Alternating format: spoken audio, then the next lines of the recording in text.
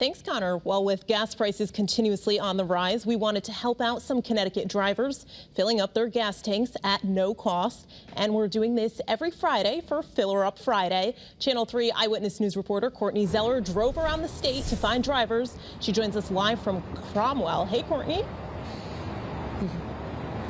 Hi there, Aya. You know, when it comes to filling up your gas tank, you're probably searching for the best deal, right? I know I am. So today we surprised a few people with the best deal of them all, completely. It's Fill'er Up Friday, and that means Channel 3 Eyewitness News is footing the bill, helping drivers fill up their gas tanks at no cost. Right now, it's on what I call blink. so it's empty.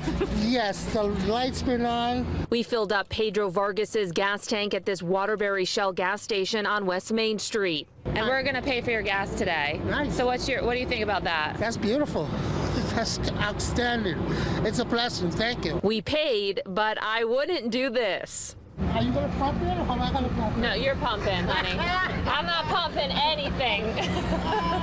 we also met this Waterbury family who says every little bit helps. We're just taking the kids out for a, a, day, so we appreciate this. We don't have to pay for gas to take the kids out, so thanks. Then we headed to New Britain. At this Shell gas station on Corbin Avenue, we surprised this driver. I just put like enough to get where I'm going. I don't really joyride in this thing. It gets like 10 to the gallon. So we're going to fill up your gas tank today. Thank you. I, I appreciate that. It's a good uh, St. Patty's Day gift.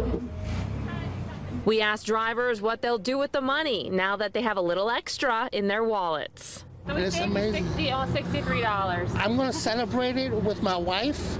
It was our anniversary, the 15th. That's nice. He's going to take his wife out to dinner. Well, uh, to find the cheapest gas prices around, you could head to our Channel 3 app coming up tonight at 6 o'clock. We're going to talk to a few more drivers, hear what they have to say about the rise in gas prices. We're live from Cromwell. Courtney Zeller, Channel 3 Eyewitness News. All right. Thanks, Courtney. And